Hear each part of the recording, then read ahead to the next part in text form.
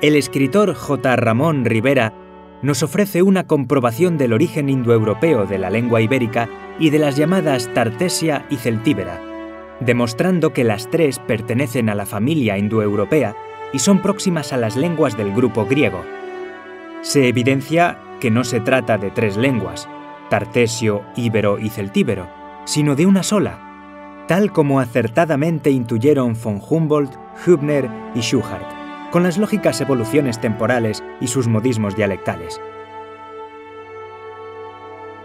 Ya a la venta en libreriacirculorrojo.com.